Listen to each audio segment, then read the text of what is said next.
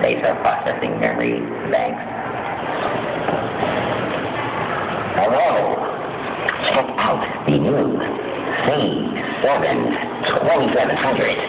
It has a dual overhead cam V8 engine, and it goes at a rapid speed of 3.5 seconds.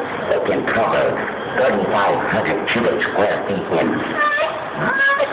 seconds.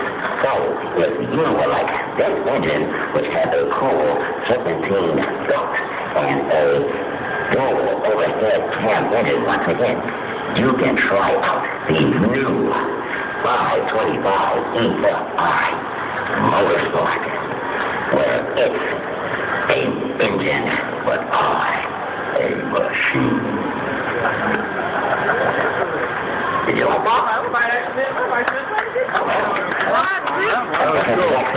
Right.